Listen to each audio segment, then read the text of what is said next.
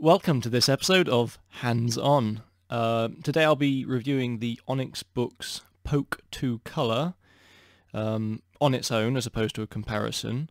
It's a ridiculous name. It's very, very long. Uh, I understand, you know, it's the color version of the Onyx Boox Poke 2, but uh, they could have gone with something a little bit more elegant. Um, so, first thing I want to talk about, obviously, the most important thing, is the fact that it's a color screen.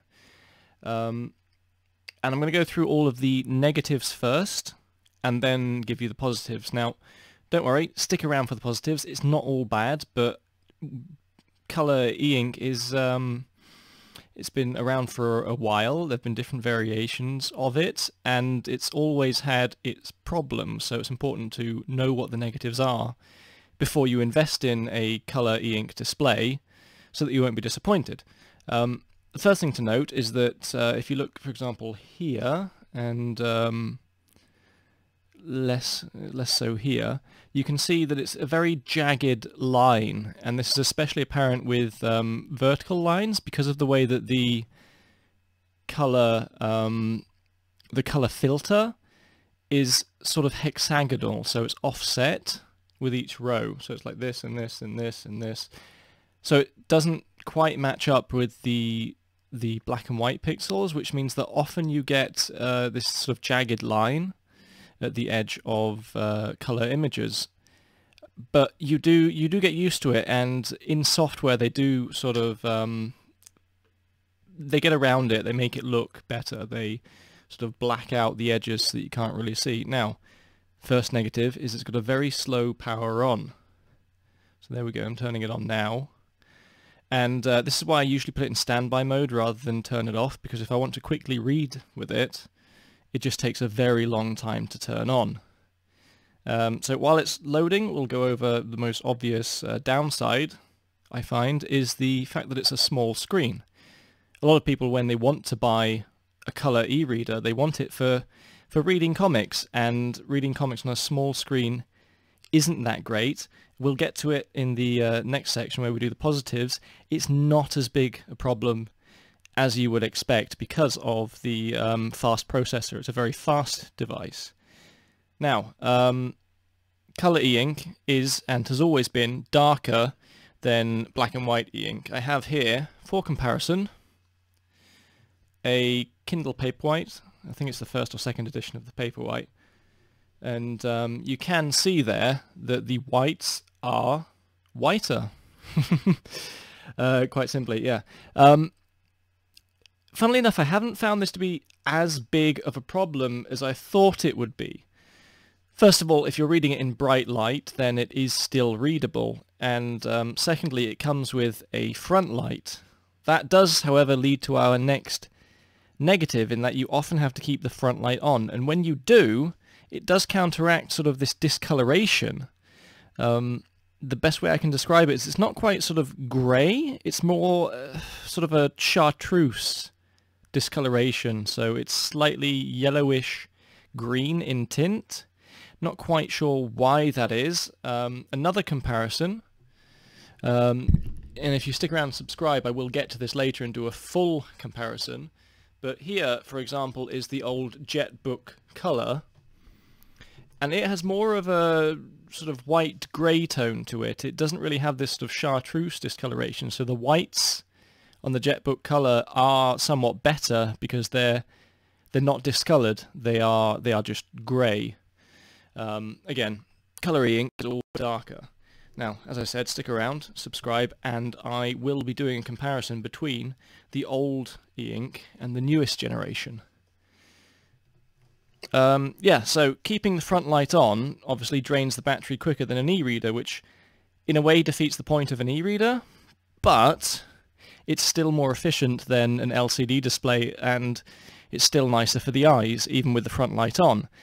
And I use this device very heavily. I really like it. And I can still do four or five days on one charge with the front light on full blast. So it's really not that bad. Um, it's still better, still better than an LCD display. Um, give me a second. Oh. Uh, need a drink. Right. yeah, so another downside is that the colours, they are brighter than the old style of uh, e-ink, of colour e-ink, the JetBook Colour for example, but they are still paler than, than a print page. I've got this under a very strong light so that you can you can see. I can also put the front light on, which will increase sort of colour perception, but also sometimes washes it out a little bit. But the colours the color, colours aren't terrible, but they are definitely not as bright as an LCD display, of course, or even a, a printed colour page. So um, that's just something you you have to accept and you have to live with. But it's still colour and it's it's still enjoyable to have it. However, the biggest complaints I have about the um, the Poke 2 colour, they're all missing features. They're all things that they could have added in, but they didn't, and it's not quite clear why. Um, one of the most annoying ones is the lack of any buttons. So there's no back button, there's no home button, there's no volume controls. All of these have, um, all of the controls are done using this navigation ball, which clutters up the screen a little bit, but you, you click on it. You click on it and then um, this menu comes up and you can customize the menu. So for example, the back button is here for me on mine. This is the screen refresh. Um, yes, yes, I agree to your blah, blah, blah privacy policy. Um, hold on, let me just check. I'll try and get the contrast to look a little bit better on the screen. Right. There we go. I've turned off the front light and it shows up better on camera. Brilliant. So yeah, so as you can see here, I've got back button, refresh. These are contrast options. This is the multitasking. Uh, this is to change speed mode, which I'll get to later, and this is um, up and down navigation buttons. Um, yeah, it's basically the page turn buttons. All virtual because there are, there are no buttons, and the lack of buttons can be a little bit annoying. It's a bit annoying, for example, that I have to press here and then press back in order to go back. I would much rather just have a little button at the bottom that does all of my back actions for me. Uh, this could have been resolved the way they do it with other Boox devices, which is with gesture, gesture support. But for whatever reason, for whatever reason, they don't include gesture, gesture, why am I struggling with that word? Gesture support um, on the Poke 2 Color. I don't know why, it would make navigating with it so much easier, but it's simply not there. Um, I've tried asking Boox about it, and I think it's quite clear that they're, they're not going to include gesture support, and I don't know why. Uh, so another missing feature is the um, the lack of speakers or a headphone jack. You can connect a Bluetooth speaker to it, but as I, I've tried to use this as my my main device because I'm not a fan of, of LCD or OLED screens.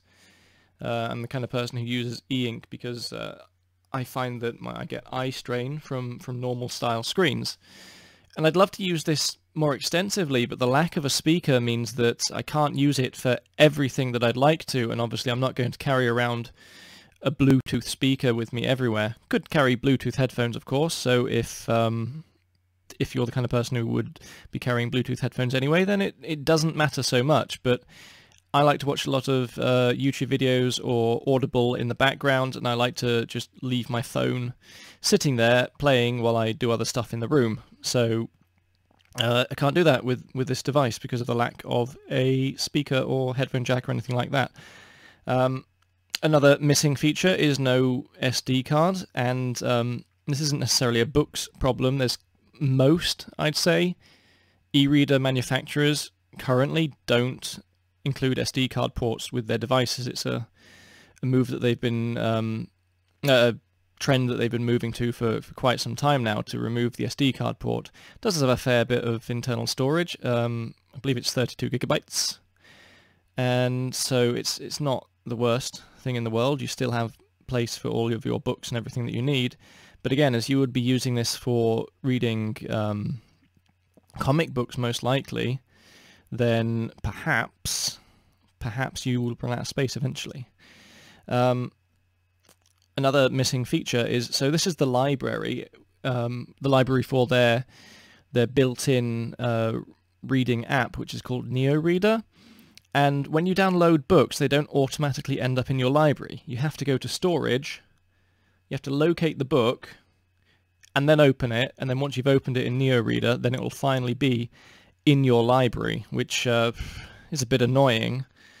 Uh, don't know how they'd solve that. Surely they, they must have some way of automatically finding files that you've downloaded in your download folder and just add them. Um, Adobe does that. If you open uh, the Adobe app, it already knows where all of your files are and you can just open them from there. Uh, but NeoReader doesn't do that. Um, another missing feature is the lack of any warm light. The only thing they have on here is what they call a moonlight, which is the uh, bluish whitish LED. Um, and that's a that's a feature I'm not sure why they would be, would be missing. It's um, it's a common problem that there's a bit of discoloration in the um, color e-ink displays and it would be nice to sort of adjust the balance um, adjust the white balance to, to get it just right. When you when you put on this uh, moonlight you do get a slight bluish tint discoloring it and that's not particularly enjoyable especially when you're trying to read a comic and um, everything is a little bit washed out because it's got this sort of blue tint to it. Whereas if you had a warm light you could counteract that. So it's it's baffling that they would leave that out. It would seem like a really really important feature to add for color e-ink. So I do hope that future devices have the ability to change the white balance because that would be a, a feature that would be very important for color e-ink. Um, again, on the whole white balance front, if uh, if I open up a comic, there's there's no way to to adjust the color saturation or the gamma. Uh, if you have the the other color e-reader, the Pocketbook Color, it has quite a lot of options in its built-in reader to um, adjust the gamma and adjust the saturation so you can brighten the image, you can make it more colorful, whereas this just has one option. It just has as you see it, and you can adjust the contrast up and down, which changes the color slightly. It can make it brighter or darker, but it doesn't really make it pop the way that uh, bumping the saturation all the way up on the Pocketbook Color does. So if you are getting uh, an e-reader and you just want it to read comics, then you might want to reconsider getting the Onyx Boox Poke 2 Color, as it is. that stupid name. Uh, yeah. Um, you might want to reconsider, but the amount of features that this has that the Pocketbook doesn't have means that I'm going to hold on to this one and get rid of the Pocketbook simply because it's more flexible, even though there is that slight drawback. Um, we're not quite to the end of the negatives yet, but we're, we're almost there. So um, the settings is also a negative, but that's a negative for all Boox products. First of all, there's not as many settings as on a standard Android device, and they're really badly organized. You have these these sort of nine uh, settings panels, and that you know you've just got here more settings is just a bunch of random stuff that's left over. You you go to application settings, and um, there's stuff thrown in here that has nothing to do with applications, like debugging mode. That's not anything to do with applications. The bookstore. Um, power settings are reasonably limited. Um, and no screen settings, absolutely no screen settings, um, which is another complaint that I have, is that this OS and their NeoReader app are not made with color in mind. They, they haven't bothered to optimize any of their software, any of their software for color. So here's NeoReader, for example. If you if you highlighted something in the uh, Pocketbook color, it would highlight it in color. It would be like highlighting it with a uh, colored highlighter. But here in the Neo Reader app, you've got black or gray. Those are your only options. So it doesn't implement the color features of this device at all. And uh, yeah, same again with the settings. Absolutely no display options. You can't you can't adjust any any of the saturation options or anything. The only thing you can adjust is up here. You've got the panel with uh, here contrast. You can adjust the contrast, and uh, that's that's uh, that's it. Um, another complaint I have is that the the touch screen isn't very responsive. I often have to click it twice or, or, hold down quite a while or press harder to, to make it react and I'm not sure why it is. When I'm typing on here it seems to work pretty fine but just general browsing and clicking on stuff it just it's really unresponsive and I've no idea why that would be why why the screen would be so unresponsive. And again there's there's no settings to to change that. If you have a Samsung device you can um, you can for example activate gloved mode where it it responds to touch much much easier because obviously if you're wearing gloves um, if you're wearing gloves then it's it's harder for it to recognize your finger so it's possible, it's always possible in Android to, to adjust these settings and yet again, Boox does not give you any option to do so, so you just end up with a very unresponsive touch screen which uh, at times can be difficult and frustrating to navigate. If you're reading a book, for example, you tap it and nothing happens. Tap it again, nothing happens, and you have to tap it a few times before it um, before it changes. Or you just get used to it and you hold for longer and you tap harder, which is something I wouldn't want to do with an e-ink screen. They're very fragile devices and you, you don't want to be hitting them hard enough to crack them. So, yeah, that's... Uh, is that a hardware problem is that a software problem? Have they calibrated it wrong? Or are the touchscreens that they use for this not very good? I'm not sure. And um, I haven't really got an answer from Boox either. So Boox are a uh, Chinese company, and if you're in the West, Chinese companies have quite bad customer service generally. Um, if the device breaks, you're going to have to send it back to China or Russia, I believe, is their their Western um, is their Western repair center, and um, yeah, they've got a feedback system in here, but for some reason it's deleted my feedback. But I've I've submitted feedback in the past, and they've they've given very rude answers. So that is another negative: is that um, Boox has not the best customer service. And an example of this is so you can adjust the speed mode on Boox devices. You can go from normal mode, which is you know, it refreshes very often to speed mode where there's quite a bit of, a little bit of ghosting actually. It's not that bad. It's not bad at all. I'll show you. Here, speed mode. Um, yeah, which makes it scroll a lot faster and there's a teeny weeny bit of ghosting, but it's it's really not enough to even notice most of the time actually. It's very, very good. Uh, and then you have the a2 mode, and A2 mode is the one that everybody loves. It's There's quite a bit of ghosting, as you can possibly see, I hope so, but it's uh, much, much faster, so it's great for scrolling the web or anything. I tend to stick to speed mode because the image degradation is very, very minimal with speed mode, so um, yeah, I use it most of the time because you hardly notice the difference between it and the normal mode, except that it's uh, quite a bit faster. So it's great for browsing the web, which obviously you can do with this because it's a, a standard Android device. There you go. Here you go. So this is, uh, which mode is this? A2 mode, I think. Yeah, this is A2 mode, and you can see some very heavy, heavy ghosting here. Um, now, Boox devices also come with a mode called X mode, which was designed for watching uh, videos. And it works. It's, it's a very, very fast mode. It degrades the quality of the image quite a bit, but um, they've removed it. So if you take a black and white device from Boox, you can you can go in here and you can click on X mode. And if you have a um, Poke 2 color, one of these, you can go on X mode as long as you don't update the firmware, because they just completely unannounced and out of the blue removed X mode without exclamation, without exclamation, without explanation. Um, yeah, so the, the X mode, when you used it, it, it sort of stopped giving you color. It turned it into a black and white e-reader, which obviously makes it quicker, I assume, because you're not having to process the colors as well as the black and white layer. And it was good, it worked, and I quite enjoyed using it for watching YouTube videos. And then one day, updated the firmware and it was gone.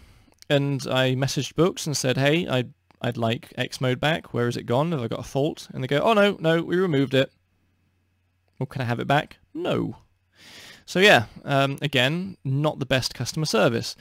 Um, they probably removed it because it turns it black and white, and maybe they thought people would complain about that, but that's not really their decision to make. If it's my device and I don't like X mode, I don't have to use it, but you shouldn't take that option away from me. Um, so yeah, don't expect the best customer service from Boox and um, be careful about updating your firmware in case they randomly take um, system functions away from you. Sadly, our woes do not end with the device itself. I've gone and gotten here the um, Onyx Boox Remoter, which is a remote control device for controlling Onyx Boox e-readers, including the Poke 2, so presumably also the Poke 2 Color. It doesn't bloody work. So you can use it to, to navigate menus, and that works fine. However, there we go, see? Scrolling from side to side, you can click on stuff. However, half of the buttons don't do anything. So here's the menu button. It doesn't do anything in this um, menu, but if you open open a book, then at the very least it opens the menu here. The back button works. Would you like to exit NeoReader? But then the navigation doesn't work to select yes or no. So that's bloody useless. Uh, the refresh button works. But then we have the backlight button. That also works. But then, sorry, front light button. But then we go to screenshot. Nothing happens. Let's let's open a book. As uh, I've heard that it's supposed to work with NeoReader. Nothing bloody happens. Now, contrast button. Nothing happens. So, not only is the device itself problematic, its interaction with uh, Boox uh, accessories is also problematic. The uh, second accessory problem is the case itself. It is a glue-on case. It has two strips of sticky, sticky back uh, tape, sticky back ta tape that you use to glue the case to the device. No one in the history of devices has ever gone, do you know what I want? I want a sticky back case.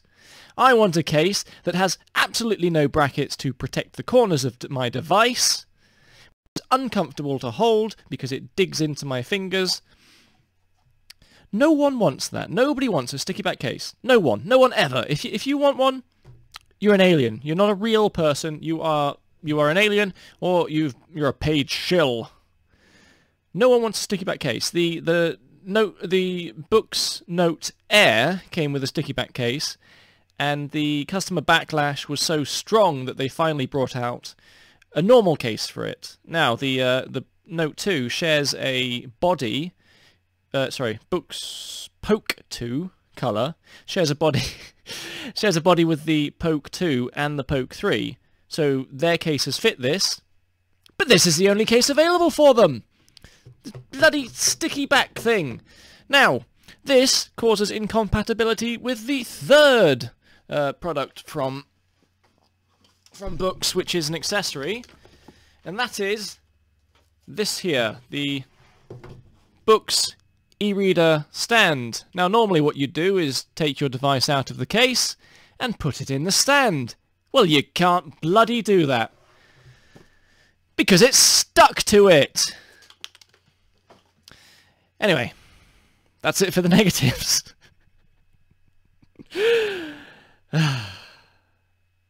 despite the negatives, there are a lot of positives to this device, and um, they outweigh the negatives by some bizarre turn of events.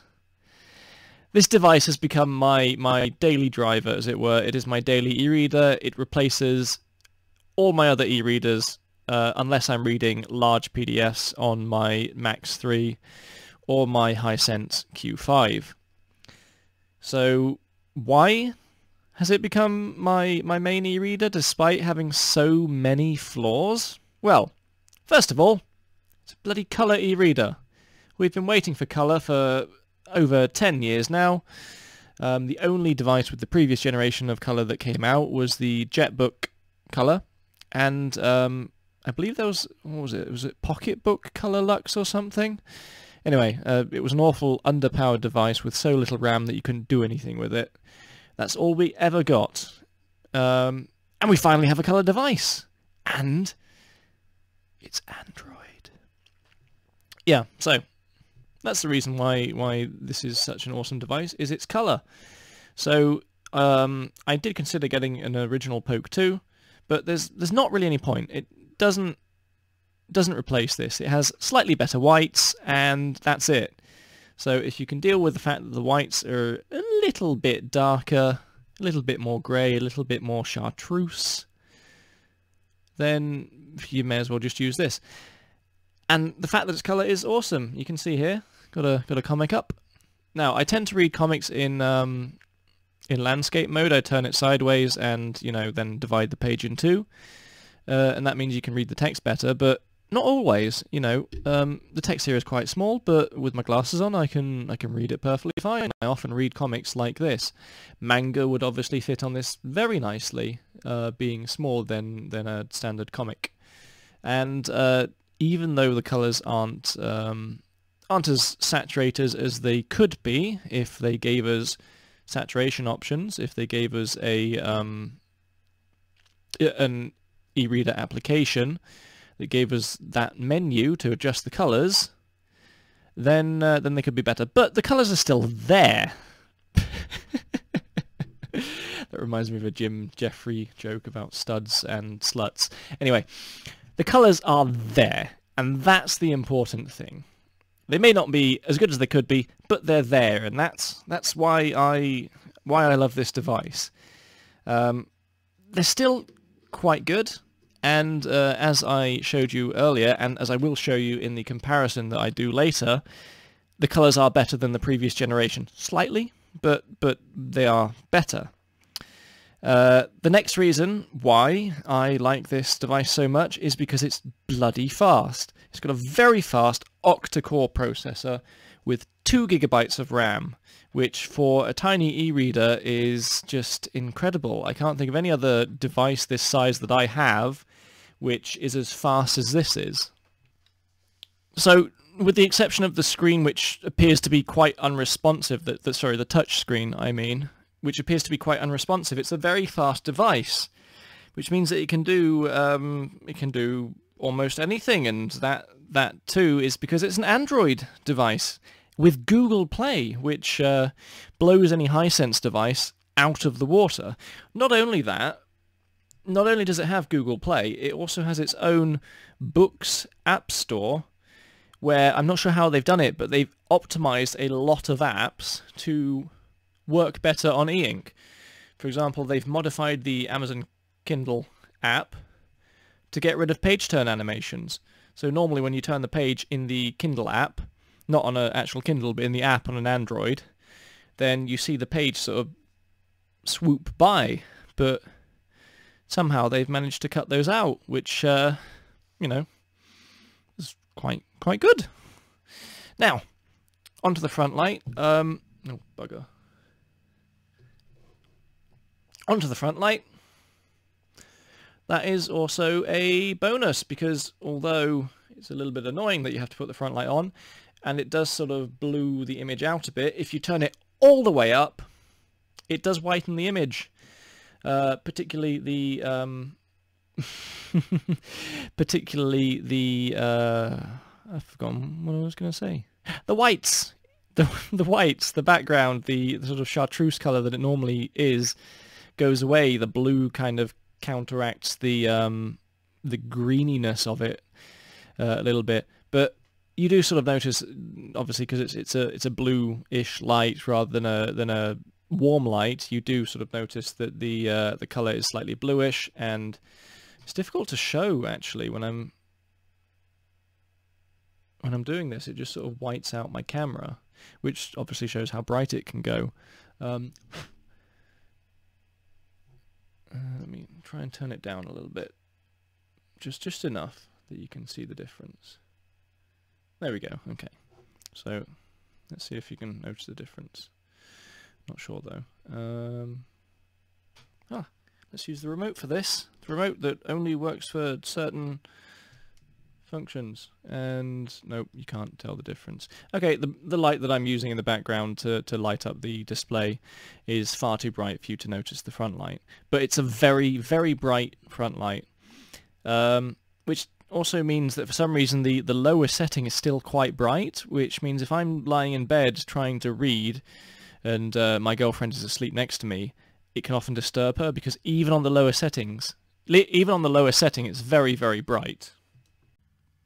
Now, even though color e-ink is uh, is even though color e-ink is darker than uh, black and white e-ink, it's still daylight readable. So if you're in a in a normal day, it doesn't have to be a bright day. It can be a cloudy day. I don't have the front light on usually. If I'm sitting in the train, I can still read it just without the front light. And then obviously at night you would use a front light anyway. So the the the big difference between it and uh, black and white e-ink is not really enough to put me off uh, because it's it's still perfectly usable as you can see, I haven't got the front light on right now, and yes, I have a, quite a bright light shining on it, but it's perfectly readable, and it has colour, as I keep saying. Um, the small size, the small screen is something I complained about, obviously. I'd much rather have a large screen colour e-reader. But I still want this. I still like this for the fact that it's so damn portable.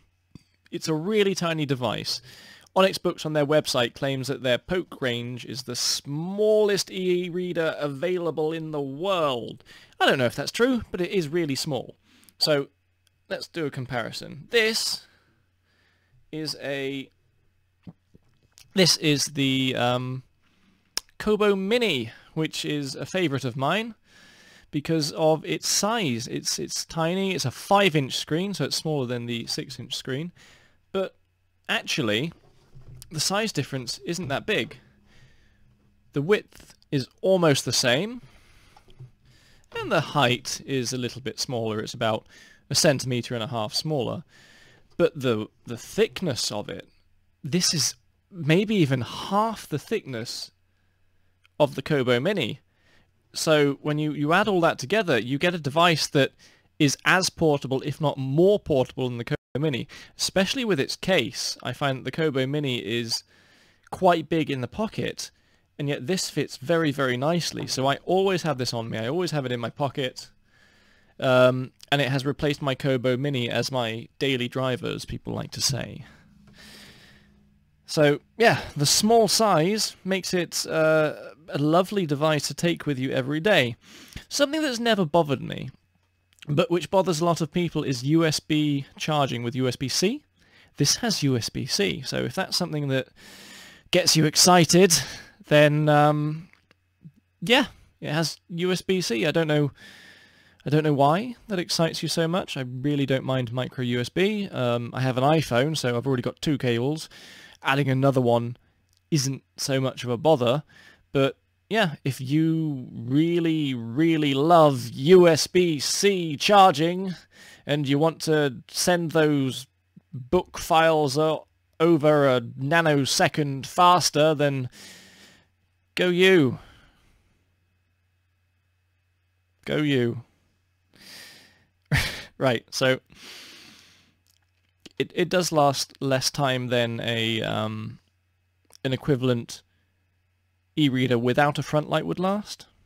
But I think that's actually normal for modern e-readers. Every every 6-inch e-reader nowadays has a front light anyway, and people use them extensively, and that is going to drain your battery life whether you've got color e-ink or not. The fact that the screen is slightly darker does mean that you're probably going to want to use the front light more often, but it's still better than an LCD display. The, the display is nicer to look at, and I get four to six days out of a charge with heavy use, and by heavy use I mean that I'm reading four hours a day maybe on, on a lot of days. I use this a lot. I, I go to bed and I lie there for two hours reading every night and I'm using it throughout the day whenever I'm um, whenever I'm out and about, whenever I'm waiting for something.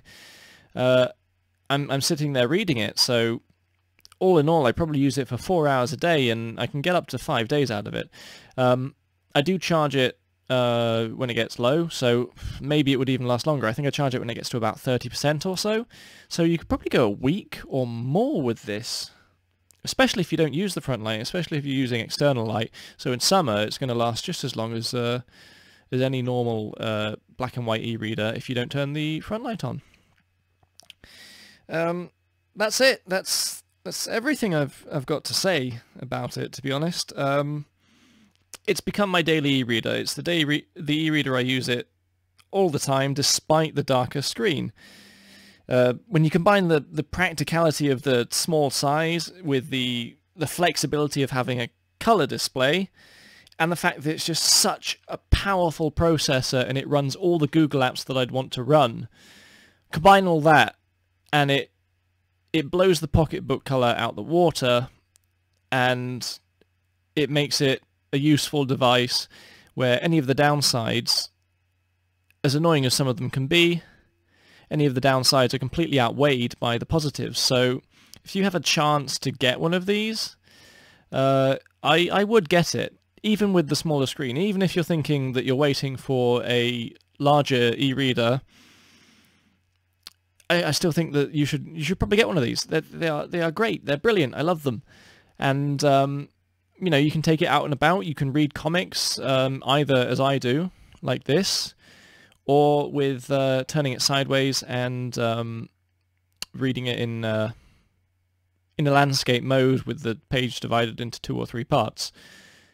It works, and and there are other apps that you can use as well. So if you don't like the Neo Reader, which is this one that is comes default, and I use it just because I like the the library settings here, the library being here with NeoReader, but you've got all these other apps you can download. I've got Acrobat here, so sometimes I read a document in that if I want to scroll up and down very quickly. You've got the Kindle app, um, Comic Time. You can download anything that is available on Android. So, yeah. So, oh, one last thing. Because because of the ability to run it, come on, in A2 mode, it's even fast enough to run some games. So look at this. This is Among Us on a colour e-ink screen. And it works. It runs. Takes a while to load. There we go. La la la la la. So when you're running it in this mode, it is a little bit um, less saturated because it's trying to do everything a little bit quicker. But look at that! Look at the look at the little look at the spinning man! Look at this one! Look at it go! Look how quick that is. That is that is impressive for an e-ink screen. And as I said, you can you can play a game. Yeah, let's uh, let's go for this one. Go on, in we go. In we go. Look, and I'm running around. Okay, you have to press the screen a little bit hard because, uh, as I said, it's not the most responsive screen. But look, it's it's running. It's running a game. There is a tiny bit of stutter and a tiny bit of ghosting, and it appears to be, you know, flashing almost. But look at that. Here we go. Let's go to the map. Let's uh, go to navigation. Let's. Uh, oh, there it is. Let's do a task. It works if you, if you really really want to play Among Us on a um, e-ink screen with no speakers. Go nuts. Do this. Obviously, if you try and play it on a black and white screen, you're going to have difficulty identifying uh, who you've seen. killing other crewmates, but uh, yeah, you can do it on this, and it, it works. Just look at that. I am, I am impressed. I am absolutely impressed with that. Right, there we go. That's uh, that's the end of the review. Despite all of the negatives and despite Onyx Boox being a company that has terrible customer service, they make brilliant devices. And I think you should buy one.